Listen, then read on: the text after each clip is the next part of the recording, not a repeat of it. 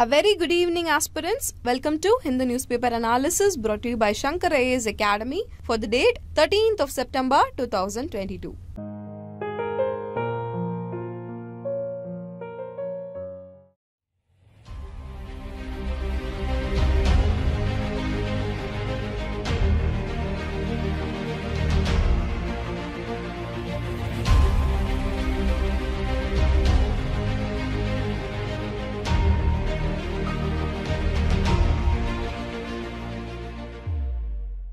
Displayed here are the list of articles that we are going to discuss today. Without any delay, let's get into the article discussion. Today, we are going to start our discussion with this interesting news article. See, this article speaks about the International Atomic Energy Agency, which is shortly referred as IAEA. See, this agency is in the news because yesterday Iran said in a press note that it is ready to cooperate with the IAEA regarding the nuclear activities. So, this is about the news article given here. In this context, we'll learn about IAEA, its formation, its purpose, and the member countries. So first of all, let us see what is IAEA. See, International Atomic Energy Agency, it is an intergovernmental organization. So what is the purpose of this organization? It seeks to promote the peaceful use of nuclear energy. And apart from this, it prevents the use of nuclear energy, including nuclear weapons, for military purpose. So this is the purpose of the organization. Now here you should know that this IAEA is one of the United Nations agencies. See, it is an autonomous organization, but it functions within the United Nations. And this is about the organization IAEA. Now coming to the formation, in the year 1953, the then US President Dwight D. Eisenhower proposed the creation of an IAEA organization. And he proposed this in his address to UN General Assembly named Atoms for Peace. And after this address, the statute or the law for the IAEA was approved on October 1956 and the statute came into force on July 1957. And this is when the organization IAEA came into being. And this approval formally established IAEA as an autonomous organization. See, even though it is autonomous, it has to report to both the United Nations General Assembly and UN Security Council. And these are the facts you should know about the formation of International Atomic Energy Agency. Now coming to its functioning, we are going to see two categories here. The first one is from where it is functioning. The other one is what are those functions. Now coming to the first category, See, the IAEA has its headquarters in Vienna, Austria. And in addition to that, it has two regional safeguards offices. They are located in Toronto, Canada and Tokyo, Japan. So these are the places from which the organization IAEA functions. Now coming to the second category, which is the functions of IAEA. See, the International Atomic Energy Agency serves as a forum for promoting and assisting the research and development and practical applications of peaceful uses of nuclear technology and nuclear power worldwide. So, this is the first function. The next one is it provides international safeguards against the misuse of nuclear technology and nuclear materials. And thirdly, it promotes nuclear safety and nuclear security standards. And this includes radiation protection also. And finally, the agency overlooks or it monitors the implementation of safety and security standards. So from this, what do we know? We know that it not just provides standards. It sees whether you follow the standards or not. So these are some of the main functions of International Atomic Energy Agency. Now moving on to the membership, the IAEA has 175 member countries as of today. See, it is impossible to memorize all these member states. But know that the latest two countries to join IAEA are St. Kitts and Nevis and Tonga. And we should also know about India. When did India become member of this organization? See, India became a member of this IAEA in the year 1957 itself. So, India became a member when IAEA was established. So these are the facts about IAEA that you should know.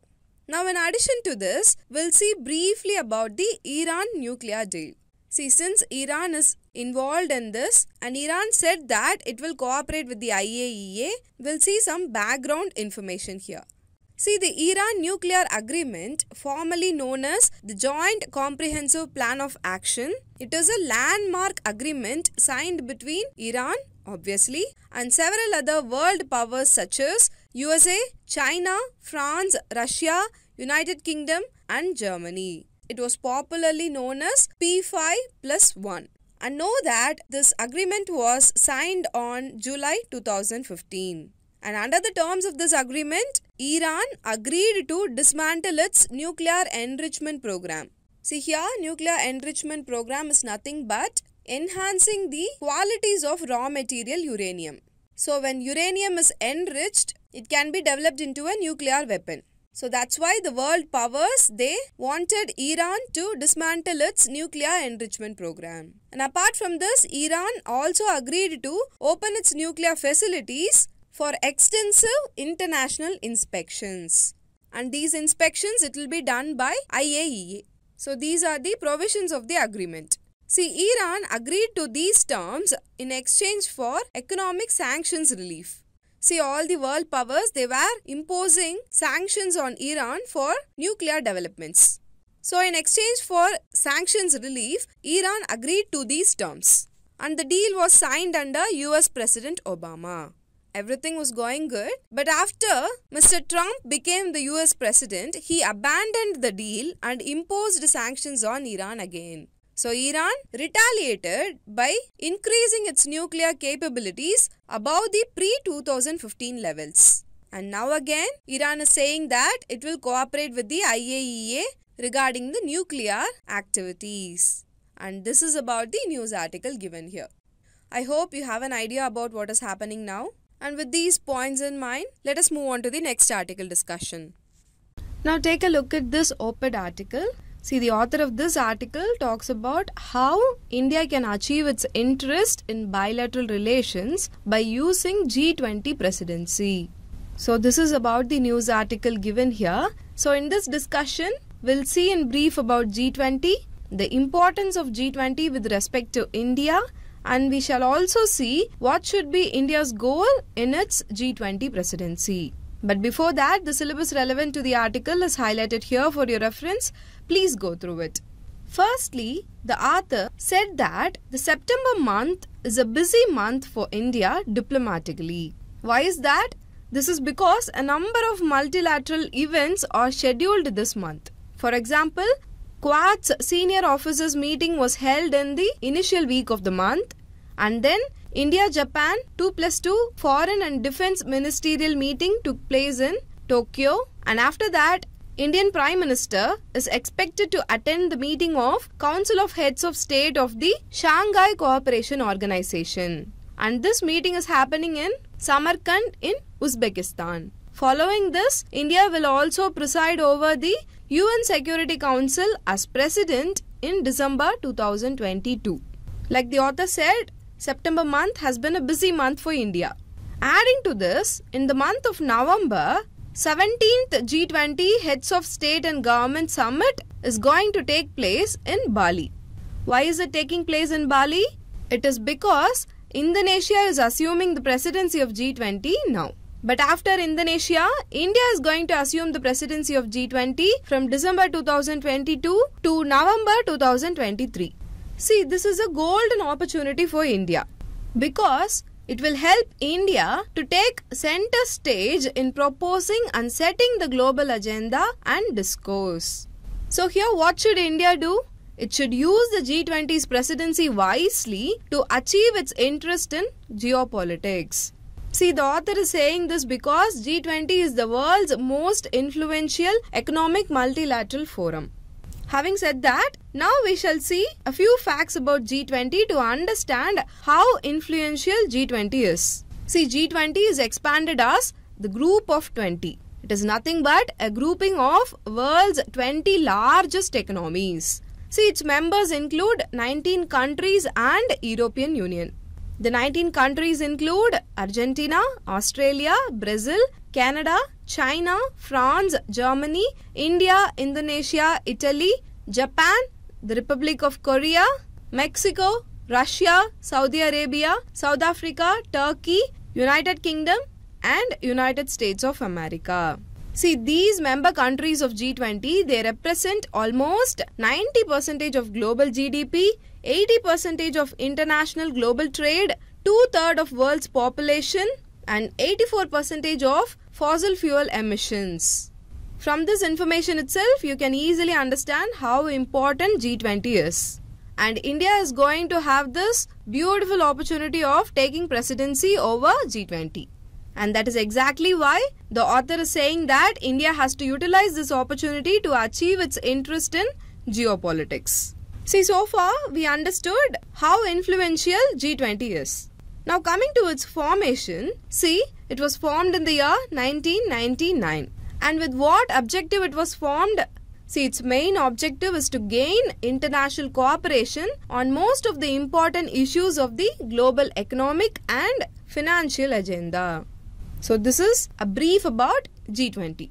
Now, coming to its presidency, see the presidency of G20 rotates annually among its members. Aspirants, do you all remember Troika? See, in our previous daily news analysis, we have discussed multiple times about Troika, which is a grouping within G20. If you recall what is Troika, post that in the comment section. Now coming back, as I already said, currently Indonesia is the president of G20 and from December 2022 to November 2023, India will be assuming the presidency of G20. So what should India keep in mind and what should India do to achieve its interest in geopolitics? That's what we are going to see in this discussion. Firstly, the author says that India must learn a lot from Indonesia's presidency. See, the author is saying that India must learn by observing how Indonesia is managing the group which is deeply divided on various issues. Here, the author is talking about the G20 group. We all know G20 is deeply divided, right? Because it involves various largest economies of the world and obviously their ideologies will not be the same. But Indonesia, during its presidency period, it has focused on three key pillars. First is the global health architecture, the second one is sustainable energy transition, and the third one is digital transformation. So, based on this, the author is saying that India can also learn from this template to develop a comprehensive agenda for its presidency in the next year. And this is the first thing to be kept in mind for India. Secondly, while hosting the G20 presidency, India can assert its political, economic and intellectual leadership. Now you may ask a question. How India can do this? See, it can be done just by performing a delicate balancing act. See, on one hand, we have the West, which includes North Atlantic Treaty Organization, the G7 partner nations. They are setting the global agenda. And on the other hand, there is an emerging connection between China and Russia. See, these two groups, they are like North Pole and South Pole. They have divergent views from each other. So here, India might be caught in the middle as it is part of both Quad and Shanghai Cooperation Organization. We all know that Quad and SCO are at opposite ends of geopolitical spectrum, right? So if that is the situation, then India may have to address the issues that help in bridging the emerging divide in the world order. See, in simple words, the author is saying that India has to bridge between the West and the connection between China and Russia.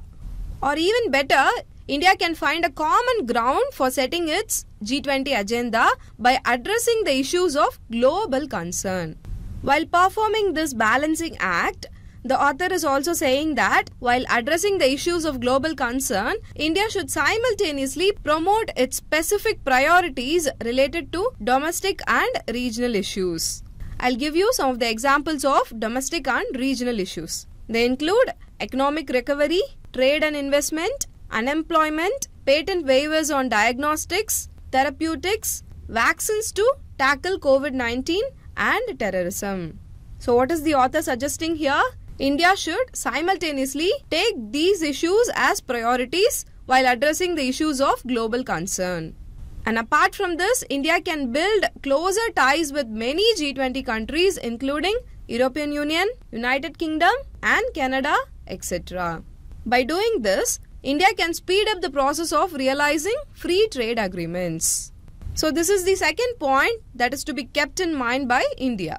Thirdly, India could focus on fundamental issues like outlining a plan for a rapid global economic recovery, focusing on the supply chain resilience mechanism, and stressing on green and digital transformations in the economy and its impact on societal well-being. Simply again, author is trying to press the issues of economic recovery, supply chain issues and green and digital transformations in the economy. See, by doing this, it would ensure a sustainable and inclusive growth for the global economy and that's why the author is suggesting that. So to conclude, overall G20 is a unique global institution and this institution is where developed and developing countries have equal status. So it gives India the chance to stand up for the interest of emerging as well as the least developed nations in the world. See, this will prevent the summit from turning into a high table meeting dominated by the West. And one more suggestion given by the author is that India could even invite and engage countries from Africa and South America to ensure better and more balanced representation at the G20. So it is in the hands of India to ensure that the forum transforms from a talk shop into a workshop in terms of meaningful actions and outcomes. And with this, we have also come to the end of this discussion. With this key learned points, let us move on to the next article discussion. See this next news article here. It says that MP Nishikant Dubey levied corruption charges against former CM of Jharkhand, Mr. Shibu. And based on the complaint, the Lokpal initiated proceedings against Mr. Shibu. But the Delhi High Court has stayed the proceedings initiated by Lokpal. And this is the crux of the news article given here. So what are we going to do in this discussion? We are going to use this as an opportunity to revise about Lokpal. What is Lokpal? It is the anti-corruption ombudsman in our country. Now who is an ombudsman? See ombudsman is a person who is most often a public functionary appointed by the government or the legislature. And the Ombudsman mainly deals with the complaints made by ordinary people against the public organizations and the public officials. I hope you have a fairly decent understanding of who is an Ombudsman. Now, in our case, Lokpal is an anti-corruption ombudsman because it deals with anti-corruption charges levied by the public against government functionaries. Lokpal is a statutory body. It was established based on the Lokpal and Lok Ayukta Act 2013. And this act was later amended in the year 2016. Here, you might have a question. What is the need for an organization like Lokpal? The answer to that question is see, the anti corruption agencies in our country are hardly independent. Our Supreme Court has even termed CBI a caged parrot only speaking its master's word, that is the union government. See, these are the words of Supreme Court, not mine. And this fact necessitated the need for an independent organization like Lokpal. See, an independent organization like Lokpal will end the issue of corruption. And that's the belief behind the establishment of a statutory body like Lokpal. Now, having said that, let us see the way Lokpal functions. You all should know how Lokpal is putting an end to the issue of corruption, right? We are going to see that only. See, Lokpal can launch a preliminary inquiry against a public servant. And this is done after the Lokpal receives a complaint under Prevention of Corruption Act 1988. See, the important fact that you should know here is that there is no restriction to who can make such a complaint. Anyone can lodge a complaint against a public servant. See, this is a positive thing. Why is that? It is because it empowers the common public to act against corrupted government officials. But there is also a drawback here. See, Lokpal can act only if it receives a complaint. It cannot act suo moto. So, this is the drawback. Once it receives a complaint, it can start a preliminary inquiry by its inquiry wing. Once the preliminary inquiry is complete, and if there is a prima facie case, then the Lokpal refers the case for investigation by any agency including the CBI. See, this is because the Lokpal has the power of superintendence and direction over any investigation agency including CBI for cases referred to them by the Lokpal. And after the investigation is over, the prosecution is taken up by the prosecution wing of Lokpal. After getting approval from a three-member Lokpal bench, the prosecution wing can proceed and file a case against the public servant in a special court. Or otherwise, it can ask the government to take disciplinary action against the public servant. Know that here, special court means the court of a special judge appointed under Section 3 of Prevention of Corruption Act 1988. And this is the functioning of Lokpal in a nutshell. What is happening? Anyone can lodge a complaint against public servant and based on this complaint, preliminary inquiry is started by inquiry wing of Lokpal and after preliminary inquiry, if there is a prima facie case, then the Lokpal refers the case for investigation by any agency including CBI. And after the investigation is over, the prosecution is taken up by the prosecution wing of Lokpal. What does the prosecution wing do? It proceeds and files a case against the public servant in a special court or otherwise it asks the government to take disciplinary action. Now coming back to the news article, see the article says that the Delhi High Court has stayed the preliminary inquiry initiated by Enquiry Wing of Lokpal. See the Delhi High Court stopped enquiry proceedings due to the breach of jurisdiction of Lokpal. Now you have to learn one more fact here. According to section 53 of Lokpal and Lok Ayukta Act 2013, the Lokpal shall not inquire or investigate into any complaint if the complaint is made after the expiry of a period of 7 years from the date on which the offence mentioned in such complaint is alleged to have been committed. In simple words, if the offence has happened before 7 years, that is, if the complaint has been made after the period of 7 years, then the Lokpal cannot inquire or investigate into that complaint. So in this case, Mr. Shibu pleaded to the court that this complaint was filed more than 7 years after the alleged incident. So based on section 53 only, Delhi High Court has stayed the inquiry proceedings.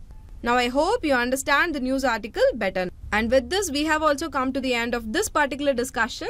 With these learned points in mind, let us move on to the next article discussion. Now have a look at this next news article. See, this news article says that A.N. Shamseer, who was the Left Democratic Front candidate, was elected as Speaker of Kerala Assembly yesterday.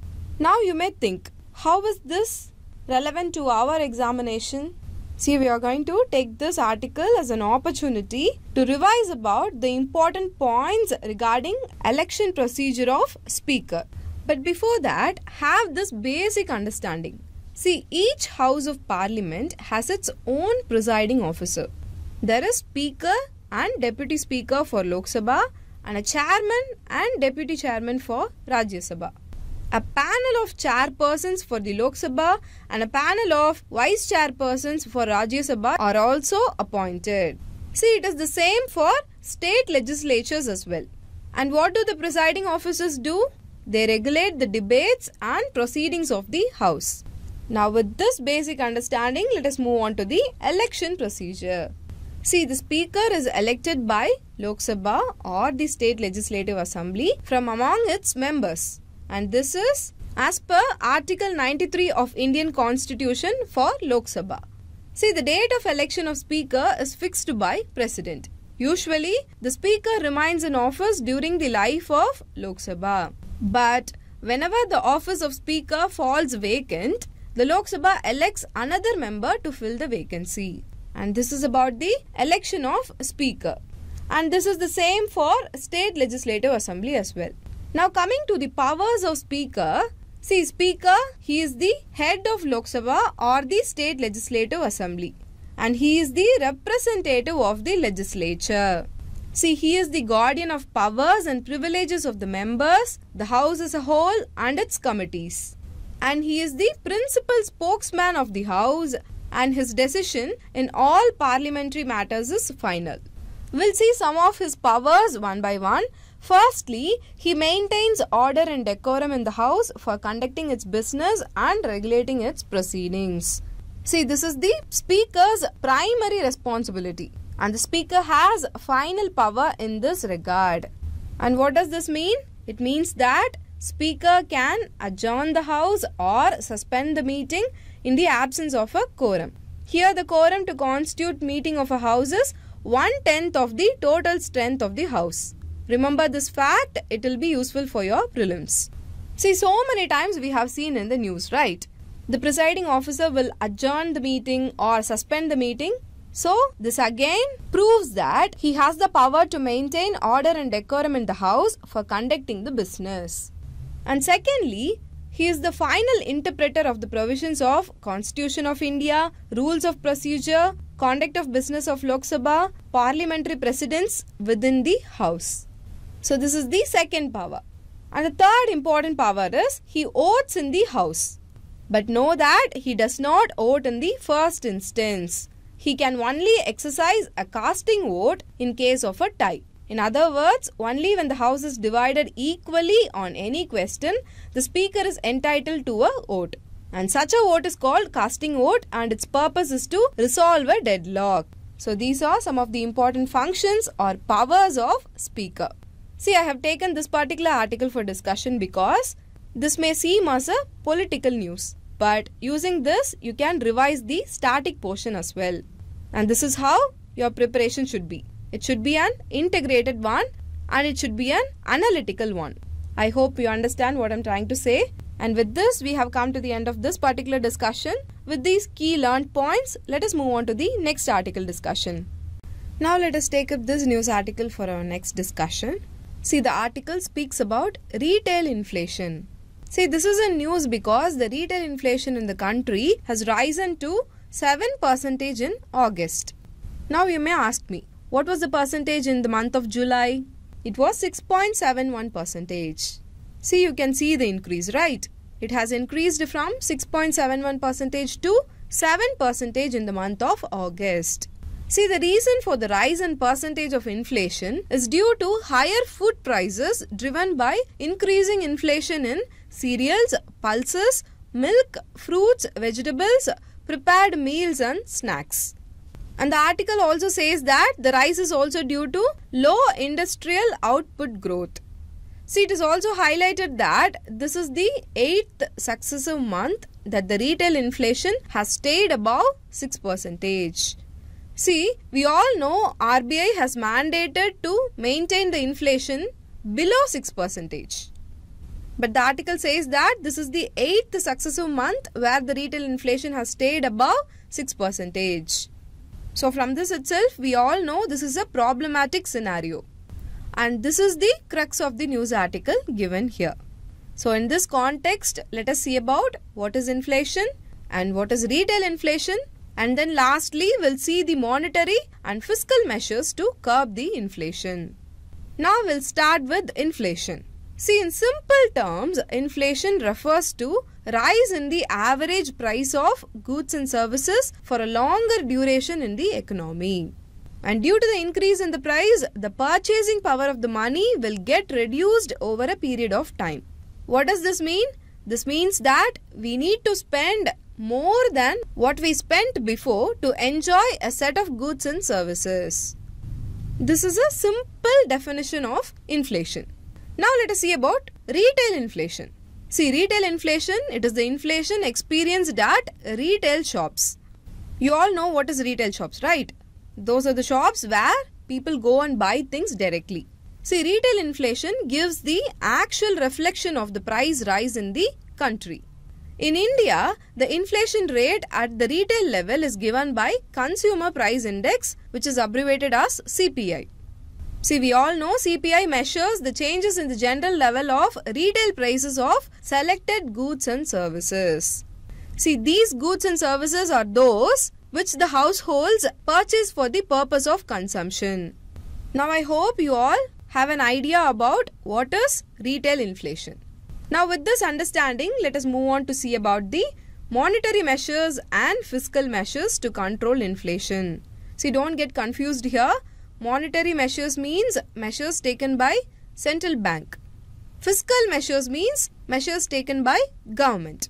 So firstly, we'll see about monetary measures. In India, monetary measures are imposed by RBI because it is only the central bank of India, right?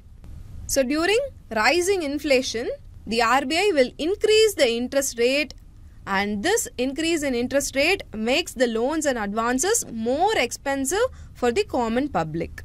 And what is the result of this action? See, if loans are expensive for common public, they will spend less money on goods and commodities.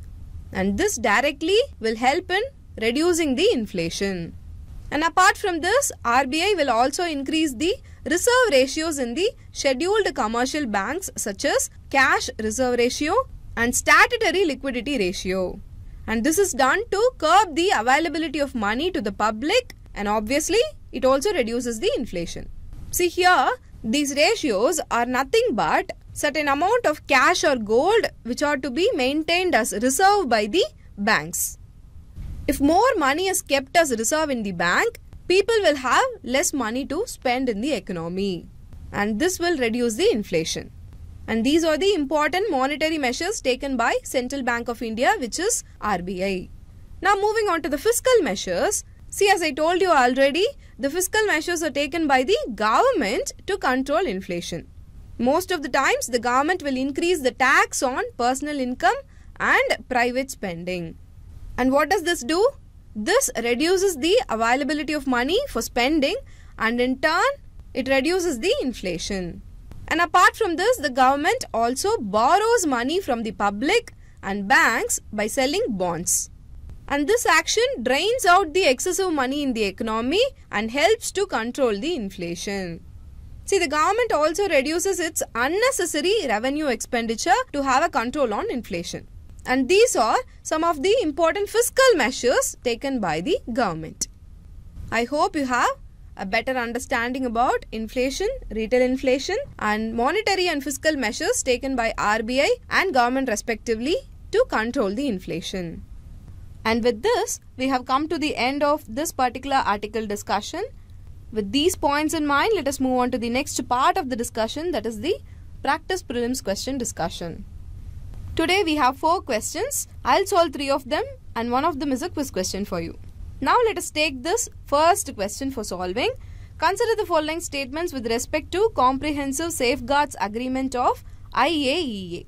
Statement 1. The safeguards under this agreement are implemented only in the countries which are party to Non-Proliferation Treaty. Statement 2. The safeguards are implemented in India on the basis of item-specific agreement with IAEA.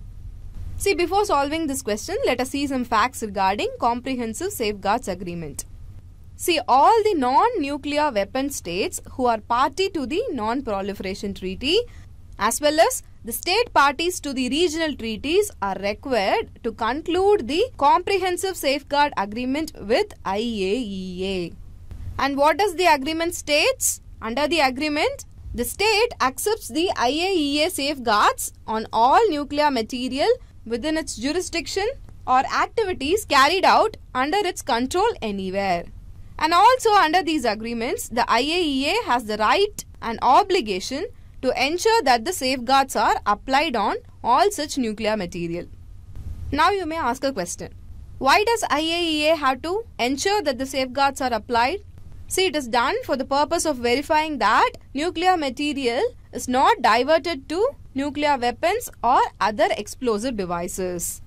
So, this is about the Comprehensive Safeguard Agreement. Here, the important fact is that safeguards are also implemented in three states which are not party to Non-Proliferation Treaty. What are those three states? They are India, Pakistan and Israel. So in these non-party states, the safeguards are implemented on the basis of item-specific agreements that they have concluded with the IAEA. And under this item specific agreement, IAEA applies safeguards to ensure that the nuclear material are not used for the manufacture of any nuclear weapon. So with this information, now let us move on to the question. So the first statement says that the safeguards are implemented only in the countries which are party to non-proliferation treaty. From the information that we just saw, we know that this statement is incorrect because these safeguards are implemented in three states which are not party to NPT, which is Non-Proliferation Treaty. So statement 1 is incorrect. Now coming to statement 2, safeguards are implemented in India on basis of item specific agreement with IAEA. This statement is correct. So the correct answer here is option B, 2 only. Now moving on to the next question. Which of the following statements about the composition of Lokpal are correct? Statement 1. The chairperson of Lokpal can be a former Chief Justice of India or a former Judge of Supreme Court or former Chief Justice of High Court. Statement 2. The judicial member shall be either a former Judge of Supreme Court or former Chief Justice of High Court.